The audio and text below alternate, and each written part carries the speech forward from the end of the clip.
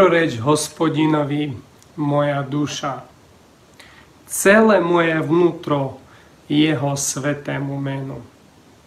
Dobroreč hospodinovi moja duša, nezabúdaj na nejaké z jeho dobrodení.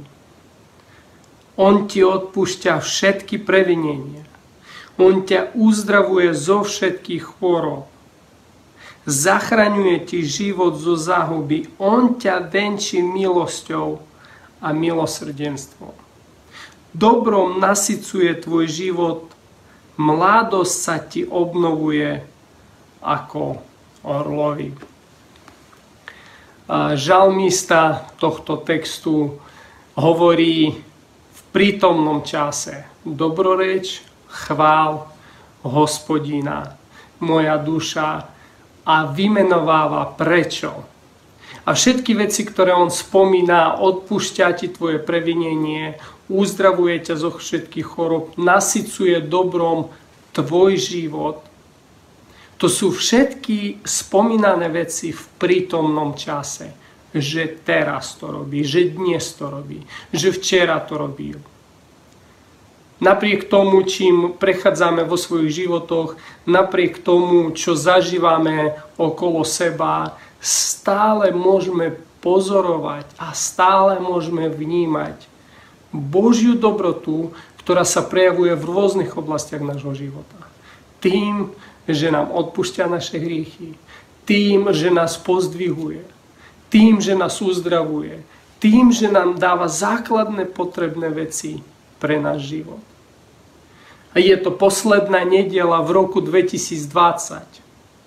Nevieme, čo nás čaká v roku 2021, ale slova tohto textu platia stovky rokov. Keď žalmista, autor tohto textu pred stovkami, stovkami rokov písal v prítomnom čase, za čo ďakuje hospodinovi, ľudia v dnešnej dobe sa pripájajú k týmto slovám, k tomuto význaniu a hovoria áno. Dobrorečím, chválim, ďakujem Bohu v roku 2020, ktorý nebol najľahší, najjednoduchší, ale stále som vnímal a vnímam Božiu priazeň nad môjim životom. A to je zaslobenie, že stále môžem vnímať a budem vnímať Božiu priazeň, dobrotu, lásku, odpustenie, milosť, sílu, ktorú potrebujeme aj v roku 2021. Ďakujem, že ste sa pripojili. Verím, že čaká nás dnes veľmi dobrý čas pri slove, pri piesňach. Chcem privítať vás aj takýmto spôsobom a vyzvať, aby sme aj tento čas mohli využívať, využiť v rozjímaní a v takom nastavení a očakávaní, čo Pán Boh nám dnes bude hovoriť cez ten spoločný program, čas, ktorý nás spoločne čaká. Teším sa na každého jedného z vás a tak žehnám každému jednomu z nás, aby sme mohli prijať to, čo Boh nám chce dnes odovzdať.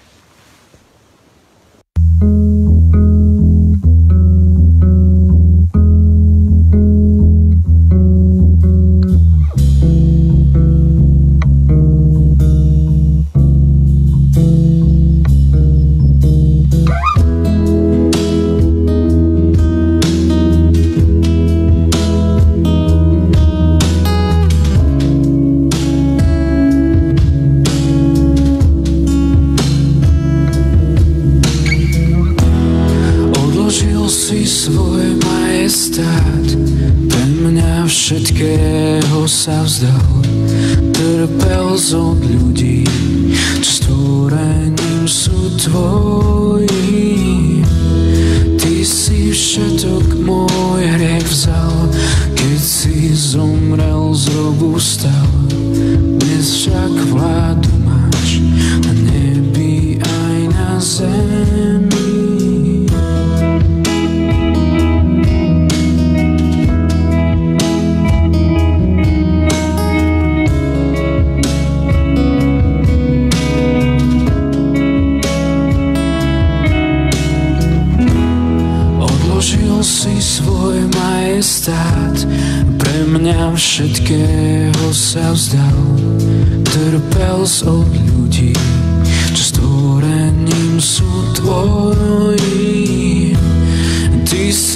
všetok môj hriech vzal, keď si zomrel z robu vstal.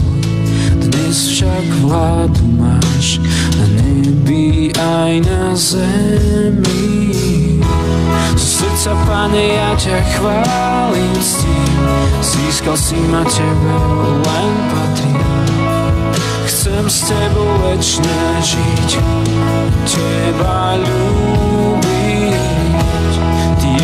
Si za mňa život dal, Ty si moja sloboda, preto Tebe, o Pane môj, spievam pieseň chvál.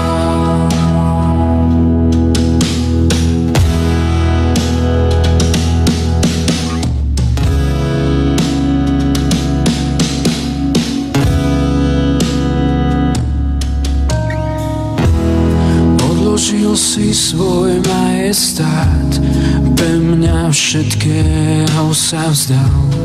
Trpel od ľudí, čo stvorením sú tvoji. Ty si všetok môj hriech vzal, keď si zomrel z robu vstal. Dnes však vládu máš na nebi aj na zemi. Zo srdca, Pane, ja ťa chválim s tým, získal si ma Tebe, len patrí. Chcem s Tebou večne žiť, Teba ľúbiť. Ty jediný si za mňa život dal, Ty si moja sloboda. Preto Tebe, o Pane môj, spievam ťa chválim s tým, získal si ma Tebe, len patrí. Chcem s Tebou večne žiť, Teba ľúbiť. Ty jediný si za mňa život dal, Ty si moja sloboda. Preto Tebe, o Pane môj, spievam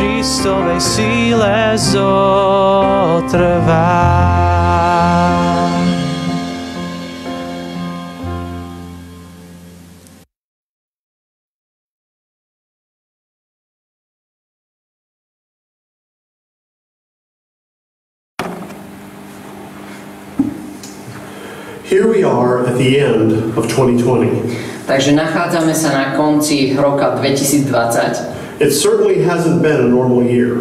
V skutočnosti to nebol taký normálny rok. It has for many been a year of fear Pre mnohých to bol rok obáv. a fear of sickness A rok obáv z chorôb or worry over finances. alebo obavy o financie. For others, it has been a year of frustration. Pre mnohých iných to bol rok frustrácií They're frustrated over the inconvenience of wearing a mask a frustrácií z toho, že museli nosiť masky or being separated from other people. alebo že museli byť, žiť oddelenie od ostatných ľudí. For some, this year has gone by very slowly. Pre niektorých tento rok išiel veľmi pomaly. For others, it has gone by very fast. Pre ďalších zase uplynul veľmi rýchlo. Time is something that we are always aware of. Čas je niečo, o čo sa neustále zaujímame. How do you handle time? Ako a, ty strážiš svoj čas? Maybe you're one of these people that watches time very closely. Možno si jeden z tých, ktorí veľmi pozorne sledujú svoj čas. You're always working hard to get things done on time.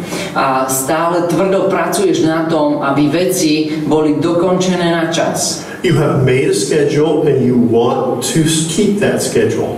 Urobil si, uh, si svoj nejaký zoznam vecí, a ktorý dodržiavaš. Or maybe you're somebody who just doesn't really care much about time.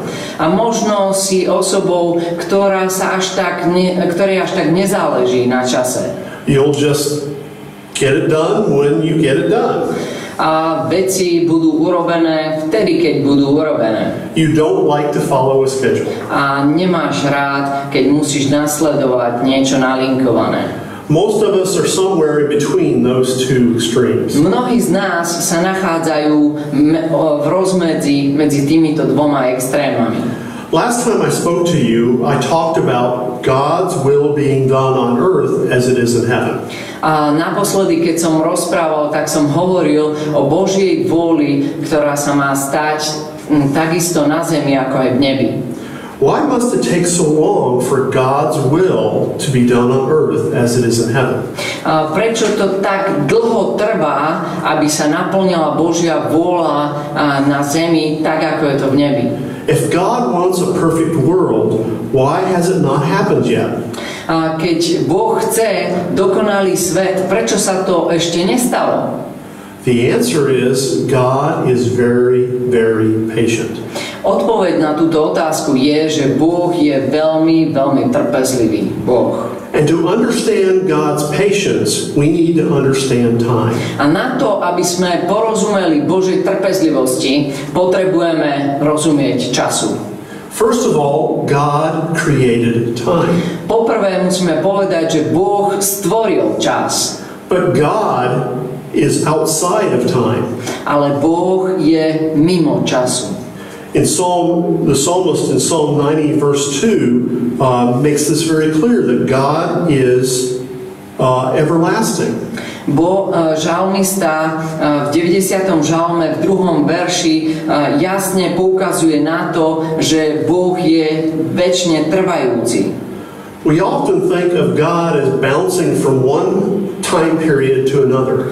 Častokrát uvažujeme nad Bohom ako nad niekým, ktorý balancuje medzi rôznymi časi, časovými horizontmi. He'll go to the past and check out things there. A keď, je, keď sa nachádza v minulosti a tam riadil kontroluje veci And then he goes to the future. a potom ide do budúcnosti And then once in a while he comes and checks out our time. a niekedy príde potom aj do prítomnosti a skontroluje, že či je všetko v poriadku. But that's not the way it works. Ale to nie je tak, ako to no, funguje v skutočnosti. God is present in all time periods. Boh je prítomný vo všetkých časoch. He is present in the past, the present, and the future. Boh je prítomný aj v minulosti, v prítomnosti, aj v budúcnosti. He is not confined by time. Nie je obmedzený časom, limitovaný časom. He created time for us. On stvoril čas a stvoril ho pre nás. Time is one of his tools to accomplish his goal. Čas je jeden z jeho nástrojov, aby mohol dosiahnuť cieľ. He created time to reveal what is in man's heart. A stvoril čas aj na to, aby odhalil to, čo je v srdciach ľudí. It takes time to develop and reveal what is in our hearts. A pýta si to čas, aby bolo odhalené to, čo sa skrýva v našich srdciach. We can see this in individuals. A môžeme to vidieť aj v životoch jednotlivcov. Let's, let's read 1 Timothy 5 24. A tak prečítajme si 1. Timotea 5. kapitola 24. verš. Hriechy niektorých ľudí sú celkom zjavné, ešte než dôjdu pred súd. U iných výjdu najavo až na súde. Time is God's tool to reveal man's heart. Čas je Boží nástroj, aby odhalil srdce človeka. But Paul, when he's writing Timothy, goes on and uh, goes in another uh, verse, um, puts it in a different way.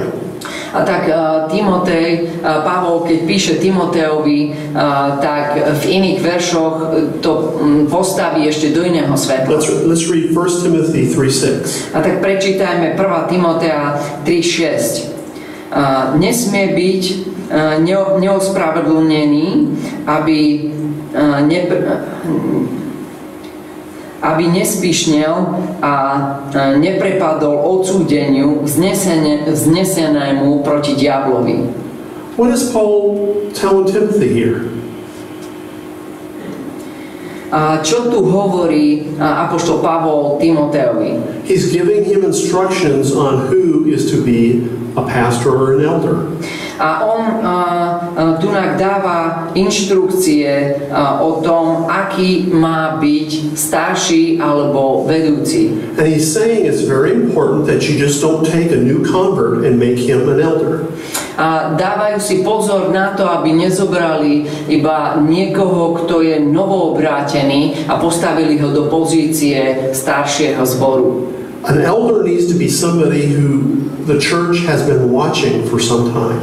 A starší má byť niekto, starší zboru má byť niekto, ktorého církev nejaký čas sledovala alebo videla. Now, I've in my own lifetime, I have seen the wisdom of this of this uh, instruction.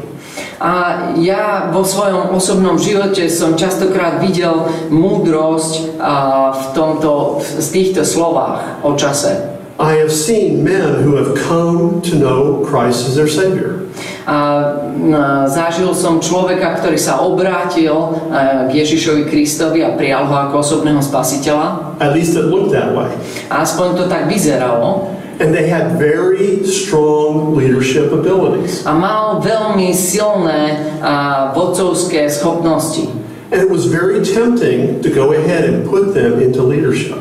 A bolo to veľm, veľkým pokušením a ísť a postaviť tohoto človeka do vedenia.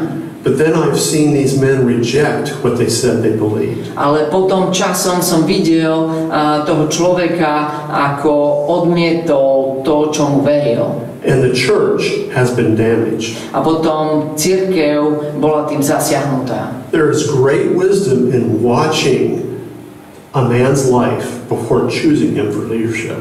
Je to múdrosťou sledovať človeka predtým, ako je postavený do vedúcej pozície. We can also we can also see this in the civil in civilization in civilizations in nation in other nations. A takisto môžeme to vidieť a, odohrávajúc sa aj v rôznych iných a, národoch alebo civilizáciách. In Genesis chapter 15, God talks to Abraham about his his descendants spending four generations in Egypt. a, kde Boh hovorí, a, Abra, a, kde Boh hovorí, a, aby, že až 4 generácie Židov a, ostanú a, v, v, a, v Egypte. Why did God do that? Prečo to Boh urobil? God had a plan, Boh mal plán. And He wanted to reveal the hearts of the people that lived in the in the in in Israel, where the land that God was going to give to Abraham. A Boh to urobil preto, lebo im chcel odhaliť, Izraelitom chcel odhaliť ich srdcia. Chcel to odhaliť tým, ktorým chcel dať tú zasľubenú zem.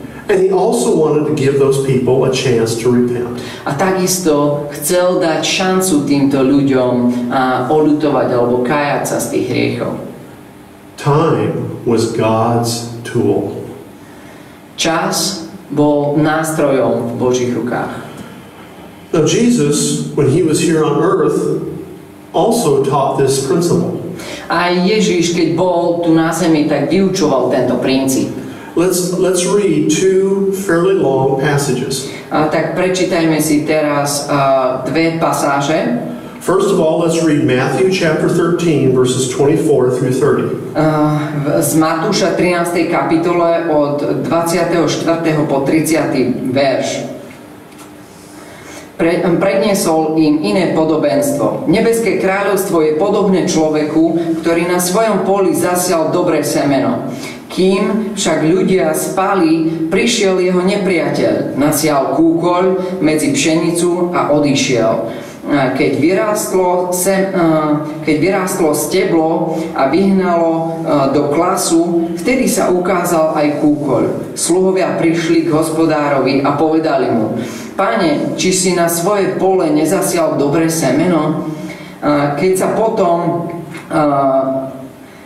Keď sa potom e, vzal, e, ku, kde sa potom vzal kúkoľ, on im odpovedal, to urobil nepriateľ. Sluho, sluhovia sa ho spýtali, chceš, aby sme išli, aby zbierali ho? On však odpovedal, nie, aby ste pri zbieraní kúkola nevytrhali súčasne aj pšenicu. Nechajte oboje rásť spolu až do žatvy. V čase žatvy poviem žencom, vyzbierajte najprv kú- kúkoľ a zviažte ho do snopov na spálenie, ale pšenicu zveste do mojej stodoly.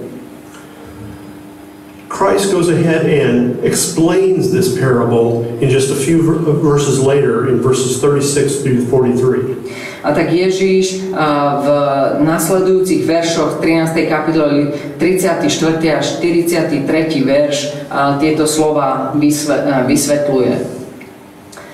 Vtedy e, rozpustil zástupy a, a vošiel do domu. Tam prišli za ním jeho učeníci a prosili ho. Vysvet, vysvetlí nám podobenstvo o kúkoli na poli. On im odpovedal, ten, kto seje dobre semeno, je syn človeka a pole je svet. Dobré semeno sú synovia kráľovstva, kúkoľ sú synovia zlého. Nepriateľ, e, čo ho nasial, je diabol a žatva je koniec sveta. Ženci sú anieli. Ako teda zbierajú kúkol a spália v ohni, tak bude na konci sveta. Syn človeka pošle svojich anielov a tí vyzbierajú z jeho kráľovstva všetky pohoršenia i tých, čo páchajú neprávosť a hodia ich do ohnivej pece. Tam bude pláč a škrípanie zubami. Vtedy spravodliví zažiaria ako slnko v kráľovstve svojho Otca. Kto má uši, nech počuje. God uses time to clearly reveal what is growing. Boh používa čas, aby odhalil, aby ukázal na to, čo v skutočnosti rastie. God showed who the sons of the kingdom were, Boh ukázal, kto sú synovia kráľovstva and through time he showed son, the sons of the evil one. a takisto časom ukázal aj tých, ktorí sú synovia zlého. Time reveals what's in the heart. Čas odhalil to, čo je v srdci. And time shows God's patience.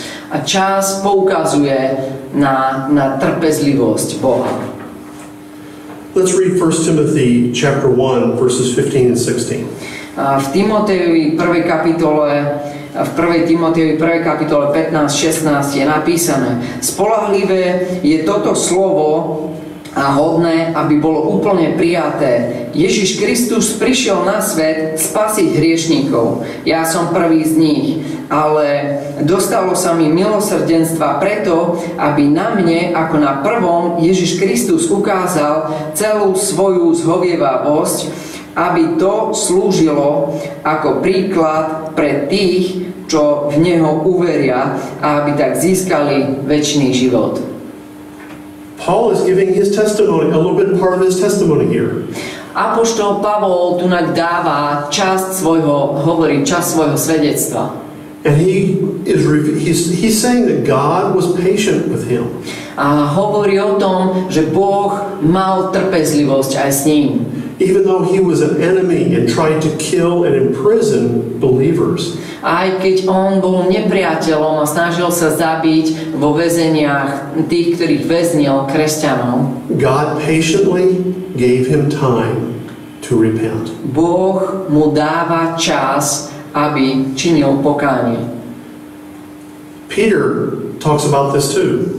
Aj Peter o tomto rozpráva. 2 Peter 3 9. A 2. Petra 3.9 Pán nemešká so, so svojimi prísľubmi, ako sa niektorí nazdávajú, že mešká, ale je zhovievavý, lebo nechce, aby niekto zahynul, ale chce, aby sa všetci dali na pokánie. God gives time for repentance. Boh dáva čas na pokánie. Now, is God taking a risk waiting for people to repent?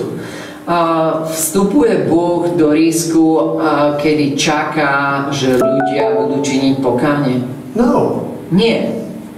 As we have seen from Scripture earlier in, mess- in my earlier messages, God works in things on a much higher level than we do. A keď sa pozeráme na biblické texty z predchádzajúcich kázni, tak e, môžeme vidieť, že Boh pracuje na inej úrovni, na vyššej úrovni. God commands, Boh nariaduje alebo prikazuje, but He still allows us to make decisions. ale stále nám ponecháva e, e, možnosť robiť naše rozhodnutia. And, and we are responsible for those decisions. A my nesieme zodpovednosť za tieto rozhodnutia. God works in the growth of us as believers. Boh pracuje na našom raste, raste veriacich. And He does that through our decisions. A robí to cez naše rozhodnutia. But even in those decisions, God is involved in every aspect of the process of growth. Ale aj napriek tomu Boh je účastný každej časti toho procesu nášho rastu. We read in John 16, 11, uh, in, the, in John 16, 8 through 11, that He convicts of sin. A tak a, čítame aj v Jánovi 6, 8 po 11 a, v 16. kapitoli, a, že on usvedčuje z hriechu. Paul teaches Timothy in 2 Timothy 2.25 that he moves people to repent. Aj m, Pavol a, píše Timoteovi v 2. kapitole 25, že, že Boh vedie, a, aby, aby viedol a, ľudí k pokáňu. In matter of fact, he, he speaks of it as a gift. A kde hovorí o tom ako o dare. Paul writes to the Corinthians in 2 Corinthians 4 6 that God shines the light of truth in their hearts. A, a Apoštol Pavol, keď píše a, do Korintu, v druhej liste Korintianom 4.6, tak hovorí o svetle, ktoré zažiari, a, za, zažiari ako svetlo. God is patiently working. Boh a, trpezlivo pracuje na človeku. How should we, how, how should God's patience affect us? Ako a, Božia trpezlivosť nás ovplyvňuje? Well, first of all, we should be patient when people do not become believers. A V prvom rade by sme mali aj my byť trpezliví, keď e, sme s neveriacimi. Now, as believers, we want other people to also be believers. A ako veriaci túžime potom, aby aj e, neveriaci e, prišli k poznaniu viery. We want to see our friends and neighbors and family members come to know Christ as their Savior. A tak e, túžime potom, aby aj naši priatelia, blízki, známi, naša rodina prišli k poznaniu Ježiša Krista. We pray for them. A modlíme sa za nich. We tell them what Christ has done for them. Hovoríme im o tom, čo Ježiš Kristus pre nich urobil. Yet many of them decide not to trust Christ. A mnohí z nich sa rozhodnú nedôverovať a Kristovi. How should we react? Aká by mala byť naša reakcia? Well, Christ faced the same thing. A Kristus čelí rovnakým veciam. As he was preaching, people rejected him. Keď Ježiš kázal, tak niektorí ľudia ho odmietali. I mean, for, for hundreds of years, uh, prophets were predicting that Christ was going to come. Stovky rokov a proroci predpovedali, že Kristus prichádza že príde. Yet when he came, they rejected him. A keď prišiel, tak ho odmietli. And it was especially the religious leaders who should have known better. A zvlášť uh, vodcovia, cirkevní vodcovia ho odmietli, ktorí, uh, ktorí poznali tie pri, uh, zasľúbenia. But Christ was patient. Ale Kristus bol aj s nimi trpezlivý. As we saw in the life of Paul, who was one of those religious leaders, he patiently waited. A takisto, takisto ako sme mohli vidieť aj v živote apoštola Pavla alebo Saula, e, na ktorého Ježiš trpezlivo čakal. And eventually, Paul came to know Christ as his Savior. A časom a, Saul prišiel k poznaniu Ježiša Krista ako spasiteľa. So we should be patient. A takisto aj my mali by sme byť trpezliví. We should continue to witness. Mali by sme pokračovať v svedectve a svedčení. Trust God. Dôvere, dôverovať Bohu. Time is God's tool. Čas je Boží nástroj. But we should also be patient when other believers disappoint us and hurt us. A takisto by sme mali byť aj trpezliví, keď e, aj iní veriaci nás znechutia alebo rania. Other believers have said things that hurt. A iní veriaci a, povedali alebo urobili nejaké veci, ktorými nás ranili. They have done things to us that hurt. Urobili a, niečo, čo nám ublížilo. Why does God allow this to happen? A prečo Boh dovoluje, aby sa toto dialo? It has to do with who we really trust. A to má dočinenia s tým, čomu, komu dôverujeme. Let's read Psalm 146, verses 3, 4, and 5. A, tak prečítajme si a, zo Žalmu 146 a, od 3. po 5. verš. Nespo, nespoliehajte sa na kniežatá, na človeka, lebo, lebo nemôže pomôcť. Keď vyjde z nich duch, vrátia sa do zeme a, a ten deň padnú ich plány. Blahoslavený ten, komu pomáha Boh Jákoba, kto sa spoľahne na hospodina svojho Boha. Often we put our ultimate trust in other people. Častokrát vkladáme našu celú nádej a, v ľudí. But God wants us to trust Him. Ale Boh chce, aby sme dôverovali Jemu. God is the everlasting one. Boh je ten, ktorý je väčší. He's the one who never changes. On je ten, ktorý sa nikdy nemení. He will never die. Nikdy nezomre, He will never sin. nikdy nezhreší. And yet He gives us Christian leaders. A tak dáva nám kresťanských uh, veriacich, veria, uh, vedúcich v cirkvi. And He gives us leaders to lead and teach us. A dáva nám uh, vedúcich, aby nás vyučovali a viedli nás. But we should always remember that our Christian leaders are sinners just like us. Ale mali by sme mať vždycky na pamäti to, že aj naši vedúci a, sú hriešníci tak, ako sme aj my, ľudia. They have to get their power from God just like we do. A tak oni, a, by, oni potrebujú byť zmocnení Bohom tak, ako aj my. And they can make bad decisions just like us. A oni môžu urobiť takisto zlé rozhodnutia ako my. And so our ultimate trust should always be in God. A tak naša celá dôvera by mala byť a, vložená Bohu.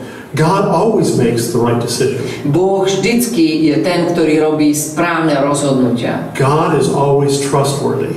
Boh je dôveryhodný. And we should also remember that, that not every apparent Christian is a real Christian. A takisto musíme brať a, do úvahy aj to, že nie každý, kto vyzerá ako kresťan, je skutočne a, veriaci kresťan, znovuzrodený. Some of them sound pretty good. A niektorí z nich znejú, znejú celkom dobre, správne. They always seem to know the right thing to say. A, zdá sa, že vždycky vedia, čo treba správne povedať. Yet their heart has never been changed. Aj napriek tomu, že ich srdce ešte nikdy nebolo premenené. And eventually their heart will be revealed.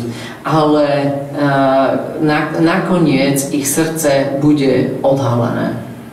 Judas Iscariot, Judáš Iškariotský he was a disciple. bol učeník, He looked like a disciple, vyzeral ako učeník, But in the end, his heart was revealed, Ale na konci sa odhalilo jeho srdce.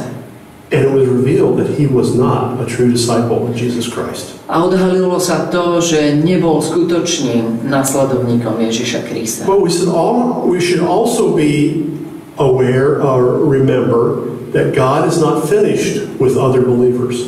A takisto by sme mali mať na pamäti to, že a, Boh ešte neskončil a, aj s ostatnými, s, s veriacimi.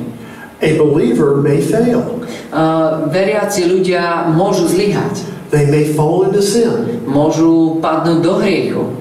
But through God's grace, they can be restored back into the body. ale a, cez Božiu milosť môžu byť obnovení a vrátení do, a, do tela cirkvi. Simon Peter denied Christ three times. Šimon Peter poprel Ježiša Krista trikrát, že je učeníkom. Yet in the end, it was shown that he was a true disciple. Ale na konci sa ukázalo, že áno, on bol skutočný následovník Ježiša Krista. And through him, many others became believers. Keď mnohí cez jeho život prišli k Ježišovi Kristovi. He preached one of the great evangelistic messages that we find in the Bible. On kázal jednu z najúžasnejších evangelizačných zvestí, ktorú môžeme čítať v Biblii.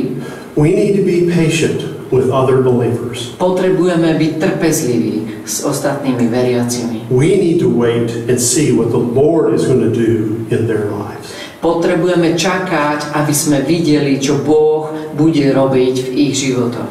But we should also be patient with ourselves. Ale takisto mali by sme byť trpezliví aj sami so sebou.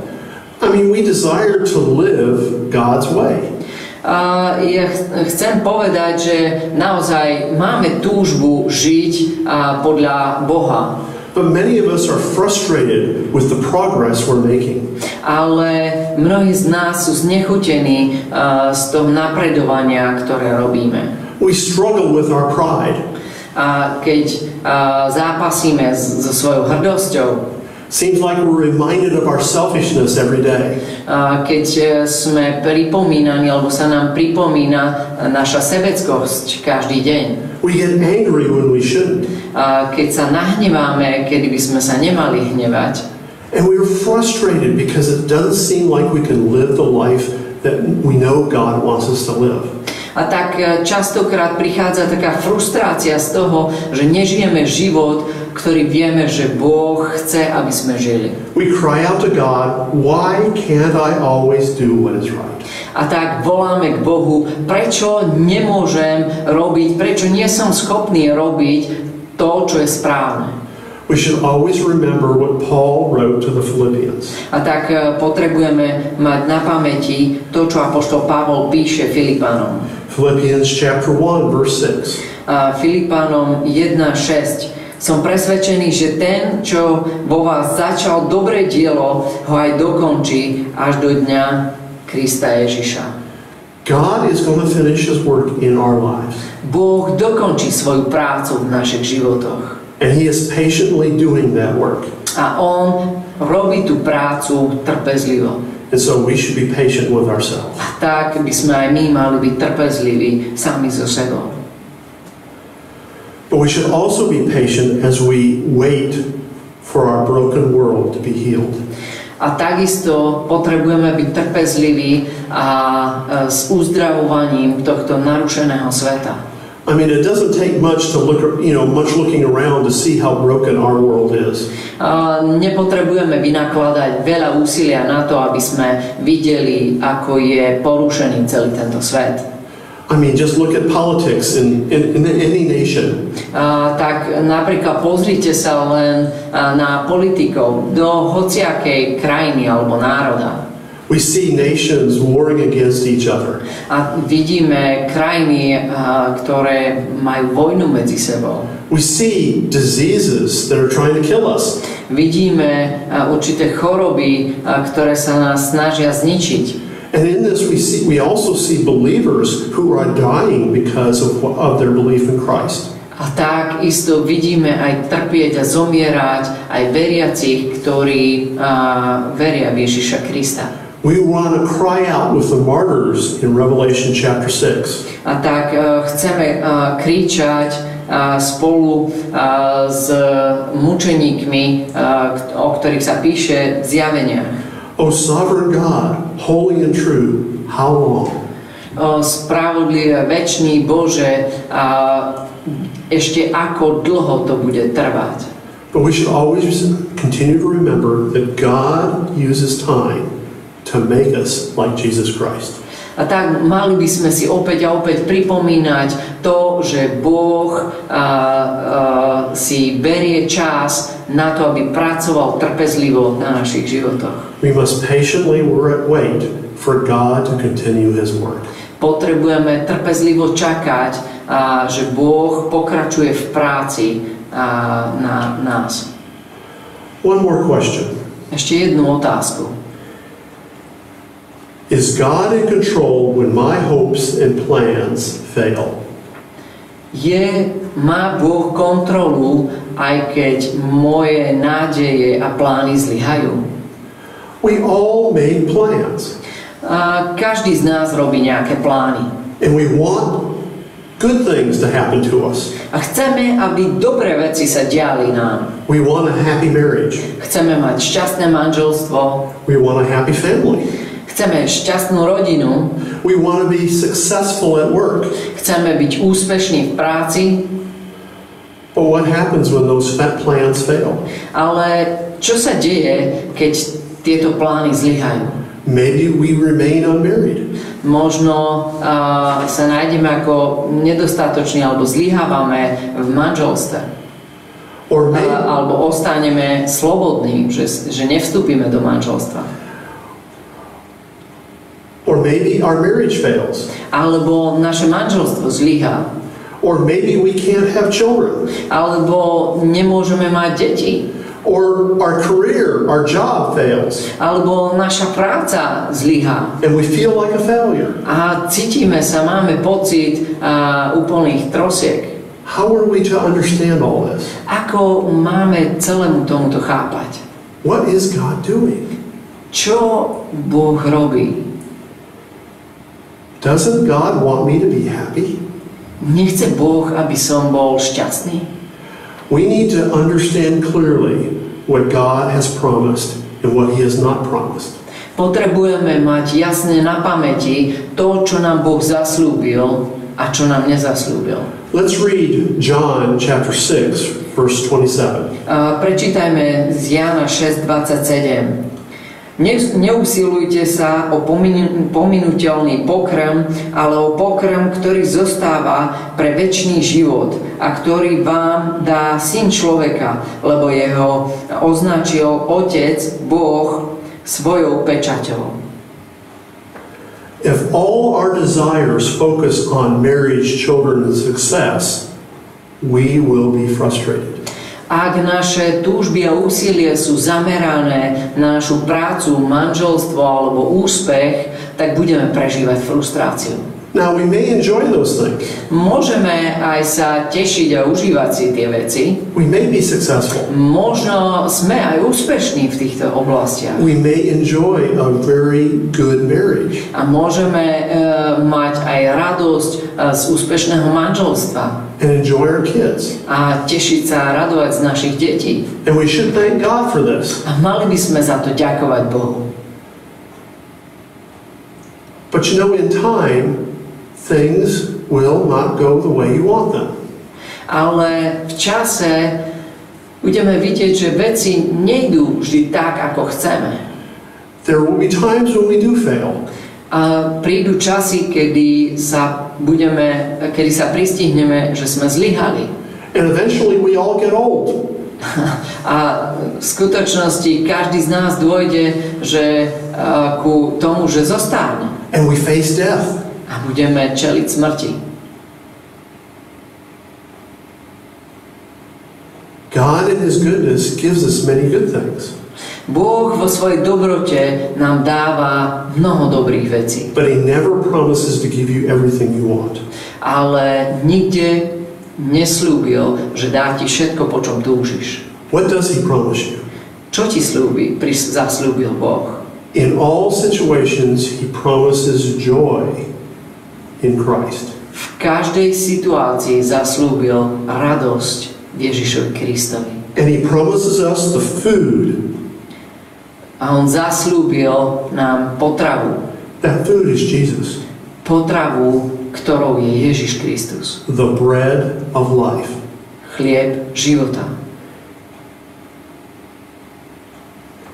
When our plans fail, we must remember that God is revealing our hearts. Keď naše plány zlyhajú, tak Boh odhaluje naše srdce. And He is using time to reveal our hearts. A On používa čas na to, aby odhaľoval naše srdcia. We should never doubt that God is working to make us like Jesus Christ. A nikdy by sme nemali pochybovať o tom, že Boh pracuje na tom, aby nás pretváral na obraz Ježiša Krista. And as He works on us over time, A tak, ako On pracuje na nás v čase, we can have joy. môžeme mať radosť. Our joy is not based on circumstances. Naša radosť nie je založená na okolnostiach. Our joy is based on faith. Tá radosť e, vychádza z našej viery. Faith in our loving, trustworthy, patient God. Z e, viery, ktorá vychádza e, radosť, ktorá vychádza z viery v milujúceho a trpezlivého, spolahlivého Boha. Amen. Amen. Môžeme sa teraz modliť spoločne eh, a prosiť, aby Pán Boh to slovo, ktoré sme mohli počuť, mohol aplikovať do nášho života, aby ukázal možno akú oblasť a čo z toho slova sa týka nás. Verím, že Duch Boží chce aplikovať to, čo sme počuli do našich životov. Takže skloňme hlavy a môžeme sa modliť za to, aby Pán Boh nám oživil to slovo, ktoré sme počuli do oblasti, v ktorých to potrebujeme. Ďakujem ti, Páne, za to, čo si nám povedal, za slovo, ktoré je živé, mocné. Prosím, Duchu Svetý, aby si vzbudil v nás to, čo má byť vzbudené, aby si prebudil to, čo má byť prebudené, aby si oslovil to, čo má byť oslovené. Pozdvihni nášho ducha, pozdvihni našu dušu, pozdvihni našu mysel. Daj nám, Pane, porozumieť veciam, ktorým Ty chceš, aby sme rozumeli. Ja Ti ďakujem za to, že môžeme sa na Teba nadejať. A ďakujem Ti aj za toto slovo. Amen.